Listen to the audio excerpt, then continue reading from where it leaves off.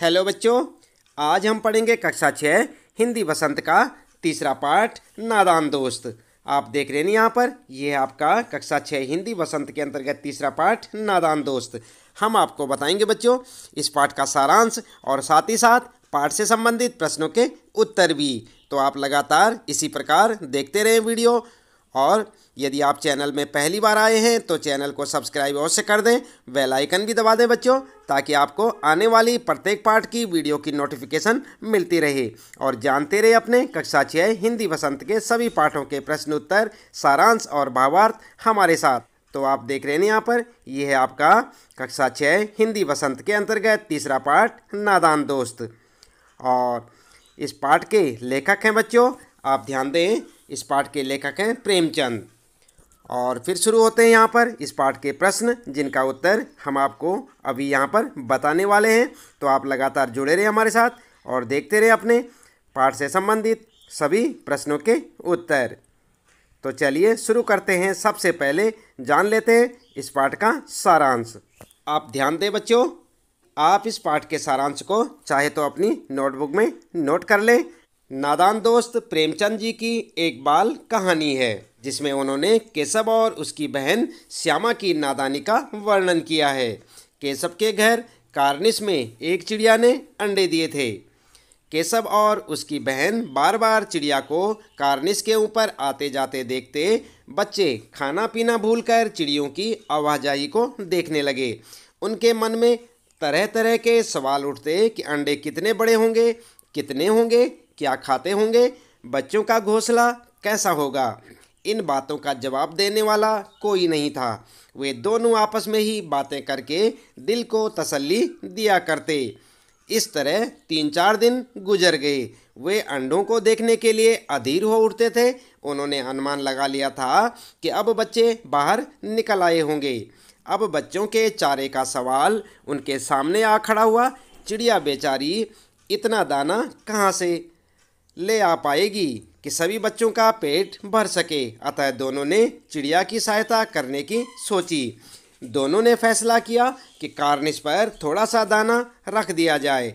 घोंसले के ऊपर कपड़े की छत बना दी जाए। पानी की भी व्यवस्था कर दी जाए। केशव ने कूड़ा फेंकने वाली टोकरी को घोंसले की आड़ के लिए रख दिया। गर्मी के दिन थे, बाबूजी दफ्तर गए थे। अम्मा दोनों बच्चों को सुलाकर खुद सो गई थी। लेकिन बच्चों को नींद नहीं आ रही थी।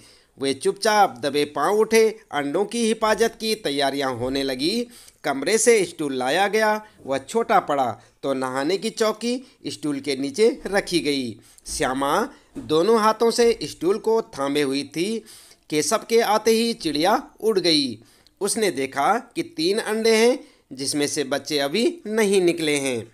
श्यामा दौड़कर, पुरानी धोती फाड़कर एक टुकड़ा ले आई, जिसे बिछाकर एक गद्दी बनाई गई और उसके ऊपर तीनों अंडे उठाकर रख दिए गए। श्यामा प्याली और चावल भी ले आई। इसके बाद श्यामा ने भी अंडों को देखने की इच्छा प्रकट की, लेकिन केशव ने श्यामा को फटकार लगाई कि तू गिर पड़ेगी। जब बच्चे बड़े हो जाएँगे तो हम उन्हें खिलाएँगे। अतः दोनों ने स्टूल और सारे सामानों को उठाकर रख दिया। इतने में कोठरी का दरवाज़ा खुलता है। माँ धूप से आँखों को बचाते हुए दोनों को डांट डपट कर कमरे में सुलाने के लिए ले गई। अब बच्चों को नींद आ गई। चार बजे अचानक श्यामा की नींद खुल गई। वह दौड़ती हुई कार्निस के पास गई। वहाँ पर वह अंडों को ज़मीन पर पड़े हुए देखती है, दौड़कर वह केशव को बुलाती है। केशव पानी की प्याली और अंडों को ज़मीन पर फूटा हुआ देखता है, तभी वहाँ अम्मा आ जाती है। वह दोनों को डांटती है तो श्यामा बताने लगती है कि केशव भैया ने अंडों के नीचे गद्दी बिछाई थी। तो माँ कहती है, तुम लोग इतना भी नहीं जानते हो कि अंडों को छूने से वे गंदे हो जाते हैं, फिर चिड़िया उन्हें नहीं सेती है। केशव को कई दिनों तक अपनी गलती का एहसास रहा। उसने अंडों की हिफाजत करने के चक्कर में उनका सत्यानाश कर डाला। वह उन्हें याद करके कभी कभी रो पड़ता। दोनों चिड़िया फिर वहाँ कभी नहीं दिखाई पड़ी। ठीक है बच्चों तो ये था यहाँ पर इस पूरे पाठ का सारांश, जो कि हमने आपको यहाँ पर पढ़कर सुनाया। उम्मीद है कि आपको अच्छे से समझ आया होगा। तो चलिए इसके बाद जान लेते हैं पाठ से संबंधित प्रश्नों के उत्तर भी। अभ्यास प्रश्न उत्तर में। और पहला प्रश्न है बच्चों, केशव और श्यामा के मन में अंडों को देखकर तरह तरह के सवाल क्यों उठते थे? तो आप क्या जवाब लिखेंगे? आप उत्तर लिखेंगे, केशव और श्यामा के मन में अंडों को देखकर अनेक प्रश्न उठते थे। जैसे कि अंडे कितने बड़े होंगे, किस रंग के होंगे, कितने होंगे, क्या खाते होंगे, उनमें से बच्चे किस तरह आएँगे, बच्चों के पर कैसे निकलेंगे, घोंसला कैसा है क्योंकि वे अंडों के बारे में जानना चाहते थे। तो इस प्रकार से आप अपने इस पहले प्रश्न का उत्तर लिख सकते हैं और इसे याद भी करें। दूसरा प्रश्न है बच्चों, अंडों के बारे में दोनों आपस में ही सवाल जवाब करके अपने दिल को तसल्ली क्यों दे दिया करते थे? तो उत्तर क्या लिखेंगे? उत्तर लिखेंगे केशव और श्यामा दोनों आपस ही में सवाल जवाब करके अपने दिल को तसल्ली दे दिया करते थे, क्योंकि उनके प्रश्नों का उत्तर देने वाला घर में कोई नहीं था। न अम्मा को घर के काम धंधों से फुर्सत थी, न बाबूजी को पढ़ने लिखने से। ठीक है? तो ये है आपका दूसरा प्रश्न और उसका उत्तर। अगला प्रश्न है, तीसरा। अंडों के टूट जाने के बाद माँ के यह पूछने पर कि तुम लोगों ने अंडों को छुआ होगा? के जवाब में श्यामा ने क्या कहा और उसने ऐसा क्यों किया? उत्तर लिखेंगे आप, अंडों के टूट जाने के बाद माँ के यह पूछने पर कि तुम लोगों ने अंडों को छुआ होगा के जवाब में श्यामा ने बताया कि केशव ने अंडों को छेड़ा। अम्मा जी, क्योंकि उसे लगा कि केशव ने ही शायद अंडों को इस तरह रख दिया था कि वे नीचे गिर पड़े, इसकी उसे सज़ा मिलनी चाहिए। तो ये था आपका तीसरा प्रश्न और उसका उत्तर। चौथा प्रश्न है बच्चों, पाठ के आधार पर बताओ कि अंडे गंदे क्यों हुए और उन अंडों का क्या हुआ? तो उत्तर लिखेंगे आप। उत्तर लिखेंगे, केशव के छूने से चिड़िया के अंडे गंदे हो गए। किसी के हाथ लगाए अंडों को चिड़िया नहीं सेती। चिड़िया अंडों को घोंसले से गिरा देती है और इस तरह अंडे बर्बाद हो जाते हैं। तो ये आपका चौथा प्रश्न और उसका उत्तर। पांचवा प्रश्न है, सही उत्तर क्या है? अंडों की देखभाल के लिए केशव और श्यामा धीरे से बाहर निकले क्योंकि? और क्योंकि के बाद यहाँ पर कह कह गए हैं आपके लिए? क्योंकि कह, वे माँ की नींद नहीं तोड़ना चाहते थे और खह माँ नहीं चाहती थी कि वे चिड़ियों की देखभाल करें और गह माँ नहीं चाहती थी कि वे बाहर धूप में घूमें। तो उत्तर क्या लिखेंगे? उत्तर आप लिखेंगे अंडों की देखभाल के लिए केशव और श्यामा धीरे से बाहर निकले क्योंकि माँ नहीं चाहती थी कि वे बाहर धूप में घूमें। तो आपका कौन सा ऑप्शन सही है? ये वाला, माँ नहीं चाहती थी कि वे बाहर धूप में घूमें। तो आप इसे लिख सकते हैं। अगला प्रश्न है बच्चों, केशव और श्यामा ने चिड़िया और अंडों की देखभाल के लिए किन किन तीन बातों का ध्यान रखा? तो किन तीन बातों का ध्यान रखा? उत्तर आप लिखेंगे केशव और श्यामा ने चिड़िया और अंडों की देखभाल के लिए निम्नलिखित तीन बातों का ध्यान रखा। नंबर एक, आराम के लिए कपड़ा बिछाया। नंबर दो, धूप से बचने के लिए टोकरी से ढक दिया। और नंबर तीन, पास में दाना और पानी की प्याली भी रखी। तो ये आपका उत्तर। छठा प्रश्न है आपका, और उसका उत्तर। अगला है बच्चों, सातवां प्रश्न है।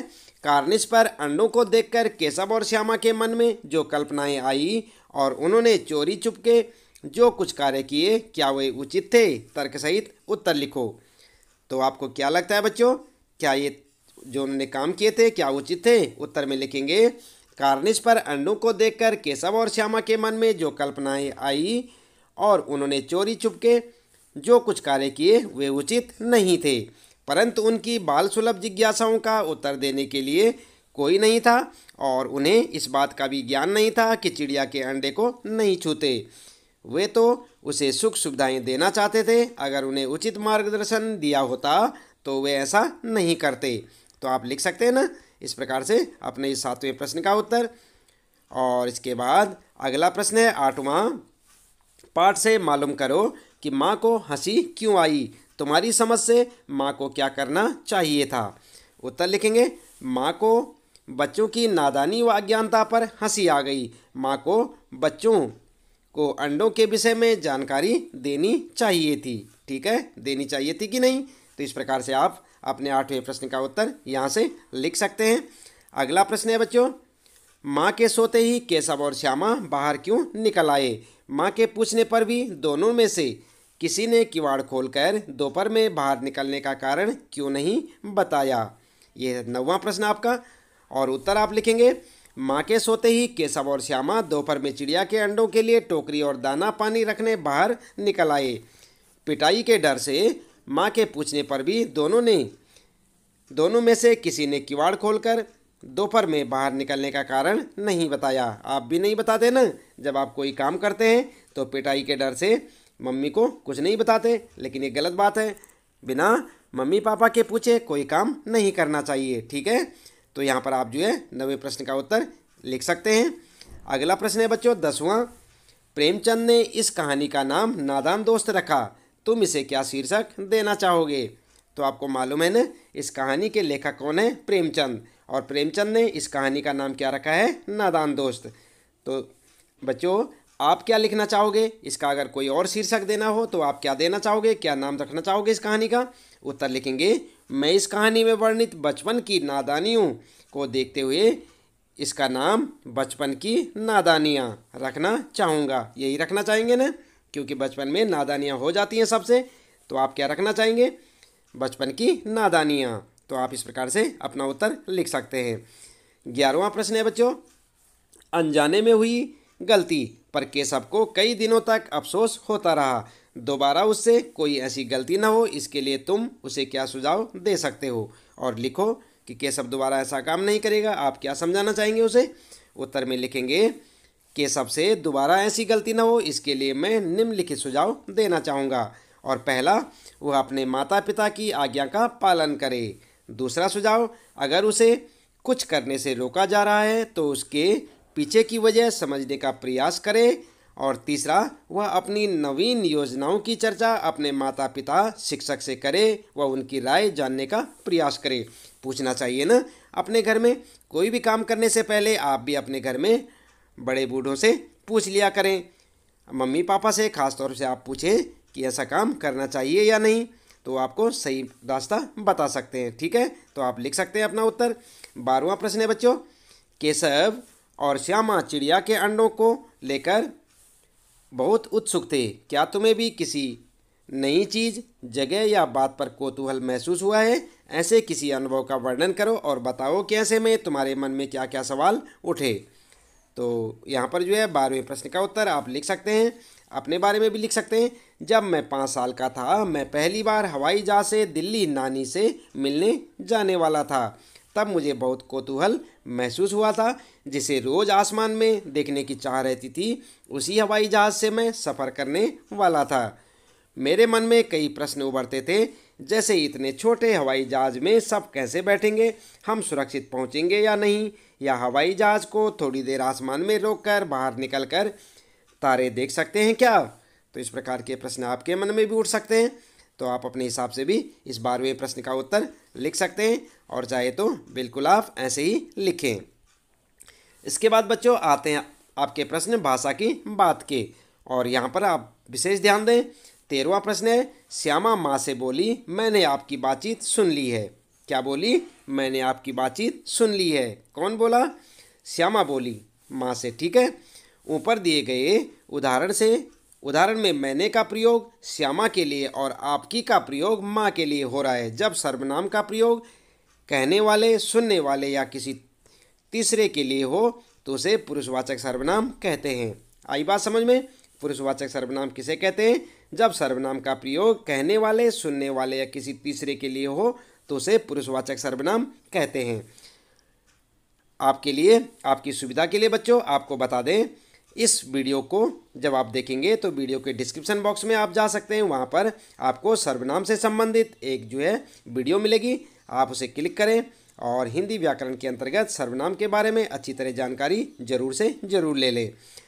आगे पढ़ते हैं यहाँ पर। नीचे दिए गए वाक्यों में तीन, तीनों प्रकार के पुरुषवाचक सर्वनामों के नीचे रेखा खींचो। तो यहाँ पर जो है आपका ये तेरहवा प्रश्न है और यहाँ पर जो है आपने जो है इसको पढ़ना है। एक दिन दीपू और नीलू यमुना तट पर बैठे, शाम की ठंडी हवा का आनंद ले रहे थे। तभी उन्होंने देखा कि एक लंबा आदमी लड़खड़ाता हुआ उनकी ओर चला आ रहा है। पास आकर उसने बड़े दयनीय स्वर में कहा, मैं भूख से मरा जा रहा हूँ। क्या आप मुझे कुछ खाने को दे सकते हैं? तो यहाँ पर क्या करना है आपने? इसे आपने पढ़ लिया इस पैराग्राफ को और यहाँ पर जो है, आपने सर्वनाम के नीचे अंडरलाइन करना है। तो यहाँ पर उत्तर में आप इस प्रकार कर सकते हैं। एक दिन दीपू और नीलू यमुना तट पर बैठे, शाम को ठंडी हवा का आनंद ले रहे थे। तभी उन्होंने देखा, एक लंबा आदमी लड़खड़ाता हुआ उनकी ओर चला आ रहा है। तो यहाँ पर आप देख सकते हैं ना, उन्होंने के नीचे, आप फिर से ध्यान दें बच्चों, उन्होंने के नीचे यहाँ पर लाइन लगा रखी है और उनके नीचे भी यहाँ लाइन लगा रखी है। तो ये क्या है? सर्वनाम शब्द हैं। ठीक है तो इसी प्रकार से आपने लगाना है। उनकी ओर चला रहा है, पास आकर उसने तो यहाँ पर भी उसने के नीचे लाइन है तो ये क्या है, सर्वनाम है। बड़े दयनीय स्वर में कहा, मैं तो यहाँ पर भी सर्वनाम है। भूख से मरा जा रहा हूँ, क्या आप मुझे, आपके नीचे भी लाइन है? कुछ खाने को दे सकते हैं। तो इस प्रकार से आप जो यहाँ पर अपना उत्तर बना सकते हैं, और जिन जिन के नीचे अंडरलाइन कर रखा है या लाइन लगा रखी है, ये क्या है, सर्वनाम शब्द। इनके बारे में जान लेते हैं। तो यहाँ पर है, उत्तम पुरुषवाचक सर्वनाम कौन कौन? मैं और मुझे, ठीक है? मध्यम पुरुषवाचक सर्वनाम है आप, और अन्य पुरुषवाचक सर्वनाम है उन्होंने, उनकी और उसने, ठीक है? तो इस प्रकार से आप इसका उत्तर लिख सकते हैं, इस प्रश्न का उत्तर।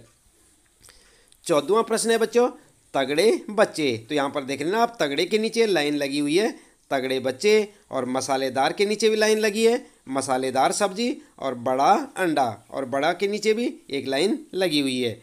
तो यहाँ पर आपको ये देखना है। इसमें रेखांकित शब्द कर्मशः बच्चे, सब्ज़ी और अंडा की विशेषता यानी गुण बता रहे हैं। क्योंकि अंडा कैसा है? बड़ा है। सब्ज़ी कैसी है? मसालेदार है। और बच्चे कैसे हैं? तगड़े हैं। तो ये क्या है इनकी विशेषता? इसलिए ऐसे विशेषणों को गुणवाचक विशेषण कहते हैं। इसमें व्यक्ति या वस्तु के अच्छे बुरे तरह के गुण आते हैं। तुम चार गुणवाचक विशेषण लिखो और उनसे वाक्य बनाओ। तो यहाँ पर भी बच्चों, हम आपको बताना चाहेंगे कि वीडियो की डिस्क्रिप्शन बॉक्स में जाएँ और आप विशेषण वाला वीडियो ज़रूर से ज़रूर देखें। वहाँ पर आपको विशेषण के बारे में पूरी तरह से जानकारी मिल जाएगी। और यहाँ पर इस प्रश्न का उत्तर आप इस प्रकार से लिखें। उत्तर में लिखेंगे, आप देख सकते हैं यहाँ पर यहाँ पर जो है, उत्तर में आप लिखेंगे, जैसे यहाँ पर माला है, गुलाब है, लड़की है और सेठ है। तो यहाँ पर सुंदर लिख देंगे आप। नेहा के गले में सुंदर माला थी, लाल गुलाब में। पूजा के लिए लाल गुलाब का हार बना दो और गरीब लड़की गरीब लड़की ठंड से काँप रही थी। दयालु सेठ, सोहन की मदद एक दयालु सेठ ने की। तो यहाँ पर क्या देखा आपने? जो सुंदर है, ये क्या है? विशेषण है। लाल भी विशेषण है, गरीब भी विशेषण है और दयालु जो शब्द है यहाँ पर यह दयालु भी विशेषण है। विशेषण के नीचे यहाँ पर हमने आपके लिए अंडरलाइन लगा रखी है, ठीक है? तो आप समझ सकते हैं, किसी वस्तु, व्यक्ति, स्थान की जो विशेषता बताते हैं, उसे क्या कहते हैं? विशेषण कहते हैं, ठीक है? तो ये क्या है? गुणवाचक विशेषण। इनके गुणों को बता रहे हैं कि माला कैसी है? सुंदर है। गुलाब कैसा है? लाल है। लड़की कैसी है? गरीब है। दयालु क्या है? सेठ कौन है? सेठ कैसा है? दयालु है, ठीक है? तो आप इस प्रकार से विशेषण की वीडियो ज़रूर से ज़रूर देखें। डिस्क्रिप्शन बॉक्स में जाएँ आप वीडियो के अंत में और वहाँ पर विशेषण के बारे में अच्छी सी जानकारी ले लें। अगला प्रश्न है बच्चों पंद्रवा प्रश्न है। नीचे कुछ प्रश्नवाचक वाक्य दिए गए हैं, उन्हें बिना प्रश्नवाचक वाक्य के रूप में बदलो। और यहाँ पर देख सकते हैं आप, अंडे कितने बड़े होंगे, किस रंग के होंगे, कितने होंगे, क्या खाते होंगे, और उनमें से बच्चे किस तरह निकल आएँगे, बच्चों के पर कैसे निकलेंगे, घोंसला कैसा है तो आपने क्या करना है? ये जो सारे के सारे प्रश्नवाचक वाक्य हैं इन्हें आपने सिंपल, यानी साधारण वाक्य में बदल देना है, यानी कि प्रश्नवाचक वाक्य, बिना प्रश्नवाचक वाक्य के रूप में आपने बदलना है। तो उत्तर आप इस प्रकार से लिख सकते हैं, अंडे बड़े होंगे, उनका रंग बताओ, अंडों की संख्या बताओ, उनका खाना बताओ, उनमें से बच्चे निकलेंगे, बच्चों के पर निकलेंगे, घोंसले के विषय में बताओ, ठीक है? तो ये आपका उत्तर हो जाएगा। इसके बाद सोलवा प्रश्न है बच्चों केशव ने झुंझलाकर कहा, केशव! रोनी सूरत बनाकर बोला। केशव घबरा कर उठा। केशव ने टोकरी को एक टहनी से टिकाकर कहा तो यहाँ पर क्या देख रहे हैं आप? सबके नीचे जो ये वाक्य है, इसके नीचे झुंझलाकर जो है, इसके नीचे एक लाइन लगी हुई है। बना कर के नीचे भी लाइन लगी है घबरा कर के नीचे भी और टिका कर के नीचे भी। तो आपने इसी पे ध्यान देना है, जिनके नीचे अंडरलाइन लगी हुई है। और यहाँ पर जो है, श्यामा ने गिड़गिड़ा कर कहा, ठीक है? तो ऊपर लिखे वाक्यों में रेखांकित शब्दों को ध्यान से देखो। तो आप इन्हें ध्यान से देखें। सबके पीछे क्या लगा हुआ है? कर। क्या लगा हुआ है सबके पीछे? कर। आप देख रहे हैं ना, झुंझला कर, बना कर, घबरा कर, टिका कर, गिड़गिड़ा कर। तो यहाँ पर सबके पीछे क्या लगा है? कर। आप इन्हें ध्यान से देखें। ये शब्द रीतिवाचक क्रिया विशेषण का काम कर रहे हैं, क्योंकि ये बताते हैं कि कहने, बोलने और उठने की क्रिया कैसे हुई। कर वाले शब्दों के क्रिया विशेषण होने की एक पहचान यह भी है कि ये अक्सर क्रिया से ठीक पहले आते हैं। अब तुम भी इन पाँच क्रिया विशेषणों का वाक्यों में प्रयोग करो। और यहाँ पर जो आपने, ठीक इसी प्रकार से आपने भी वाक्य बनाने हैं। तो झुंझला कर में आप एक वाक्य बनाएँगे झुंझला कर से अमर ने झुंझला कर खिलौने फेंक दिए। ठीक है, दूसरा बनाएँगे बनाकर से माँ ने मुझे मोतीचूर के लड्डू बना कर दिए। और घबरा कर में क्या बनाएँगे आप वाक्य? राज अक्सर घबरा कर झूठ बोल देता है और टिकाकर में लड़के ने अपने ठेले को दीवार से टिकाकर रख दिया, ठीक है? और इसी प्रकार से गिड़गिड़ाकर में मंदिर के बाहर एक भिखारी गिड़गिड़ाकर भीख मांग रहा था, ठीक है? तो आप जो इस प्रकार से वाक्य बना सकते हैं। आई बात समझ में? ये था आपका सोलहवां प्रश्न और इसका उत्तर आप यहाँ से इस प्रकार से लिख सकते हैं। आपको एक एक वाक्य बनाना है। अगला है बच्चों सत्रहवां प्रश्न है। नीचे प्रेमचंद की कहानी सत्याग्रह का एक अंश दिया गया है। कौन सी कहानी का? सत्याग्रह कहानी का। प्रेमचंद की कहानी अभी आपने पढ़ी ना? नादान दोस्त। इसी प्रकार से प्रेमचंद की एक और कहानी सत्याग्रह का यहाँ पर कुछ अंश दे रखा है, यानी पैराग्राफ दे रखा है। तुम इसे पढ़ोगे तो पाओगे कि विराम चिन्हों के बिना यह अंश अधूरा सा है। तुम आवश्यकता के अनुसार उचित जगहों पर विराम चिन्ह लगाओ। तो आपने इसको पढ़ना है इस पैराग्राफ को और उसमें विराम चिन्ह लगाने हैं, जैसे कौमा, ठीक है, पूर्ण विराम, इस प्रकार से आपने विराम चिन्ह लगाने हैं। और पैराग्राफ शुरू होता है, उसी समय एक खोमचे वाला जाता दिखाई दिया। ग्यारह बज चुके थे, चारों तरफ़ सन्नाटा छा गया था। पंडित जी ने बुलाया, खोमचे वाले, खोमचे वाला कहिए, क्या दूँ, भूख लग गई ना? अन्न जल छोड़ना साधुओं का काम है, हमारा आपका नहीं, मोटे राम। अबे क्या कहता है? यहाँ क्या किसी साधु से कम है? चाहे तो महीने पड़े रहें और भूख न लगे। मुझे तो केवल इसलिए बुलाया है कि ज़रा अपनी कुपी मुझे दे। यूँ तो वहाँ क्या रेंग रहा है? मुझे भय होता है। तो आप देखा ना यहाँ पर, किसी में भी जो है कोई सा चिन्ह नहीं लगा रखा है।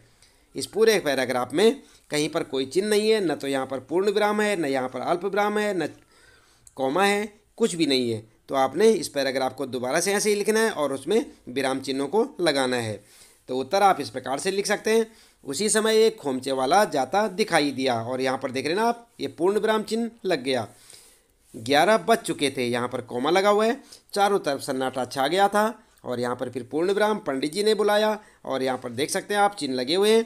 खोमचे वाला कहिए क्या दूँ, भूख लग गई ना, अन्य जल छोड़ना साधुओं का काम है, हमारा आपका नहीं है। मोटे राम, अबे क्या कहता है? यहाँ पर जो है प्रश्नवाचक चिन्ह आप देख सकते हैं।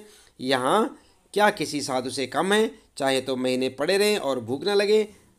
तुझे तो केवल इसलिए बुलाया है कि ज़रा अपनी कुप्पी मुझे दे। देखूँ तो वहाँ क्या रेंग रहा है? मुझे भय होता है, ठीक है? तो इस प्रकार से आप विराम चिन्हों का प्रयोग करते हुए अपना इस पैराग्राफ को दोबारा से इस प्रकार लिख सकते हैं, ठीक है बच्चों? तो इसके साथ ही इस पाठ से संबंधित यहाँ पर प्रश्नों के उत्तर समाप्त होते हैं बच्चों। उम्मीद है कि आपको अच्छे से समझ आए होंगे। इसी प्रकार कक्षा छः हिंदी वसंत के सभी पाठों को पढ़ने के लिए आप लगातार देखते रहें वीडियो, जुड़े रहें हमारे साथ। और यदि आप चैनल में पहली बार आए हैं तो चैनल को सब्सक्राइब अवश्य कर दें, बेल आइकन भी दबा दें बच्चों, ताकि आपको आने वाली प्रत्येक पाठ की वीडियो की नोटिफिकेशन मिलती रहे। और जानते रहे अपने कक्षा छः हिंदी वसंत के सभी पाठों के प्रश्न उत्तर भावार्थ कविताओं का भावार्थ सारांश हमारे साथ।